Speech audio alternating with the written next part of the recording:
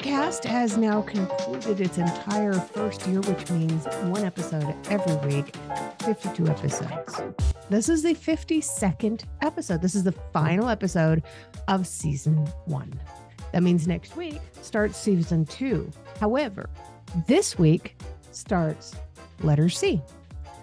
The phobia for this week is cacophobia. Cacophobia is the fear of ugliness. Now, I'm going to have to do a little research on this. I'm going to keep you guys with me while I do this. This is how the new season is going to work.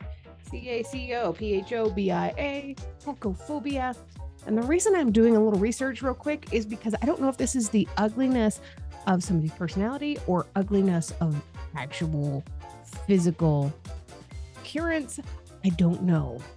So, cacophobia is apparently a boss in a particular game,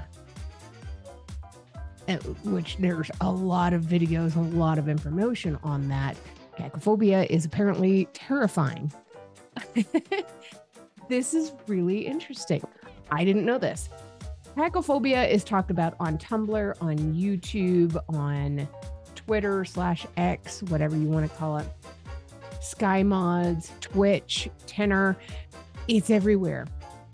It's been made into gifts, but it doesn't say what is. So, cacophobia, let's see, information. What is cacophobia? Cacophobia is an intense fear of ugliness.